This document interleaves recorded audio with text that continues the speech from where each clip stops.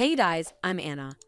And today I'm going to show you how to fix ATT app if it isn't letting you log into your ATT account. It might be possible that you're not able to log into the ATT app due to a connectivity issue.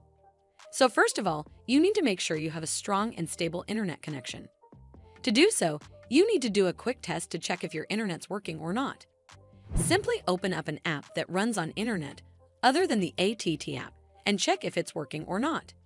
You can also try switching from Wi-Fi to mobile data and vice versa. Doing this might help you log into your ATT mobile app.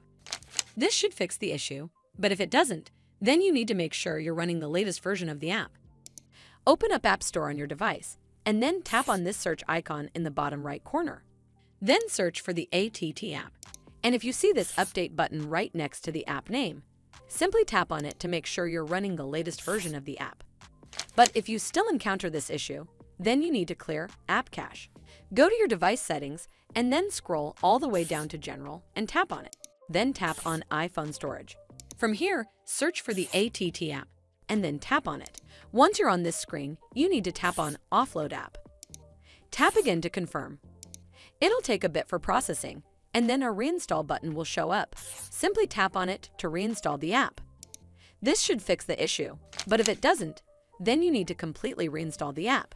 Follow the on-screen instructions to navigate all the way to the app page. Once you're on this screen, tap on Delete App to uninstall the app from your device. Once uninstalled, you need to open up App Store and then search for the ATT app right over here in the search bar, and then click on this Get button to install it back on your device.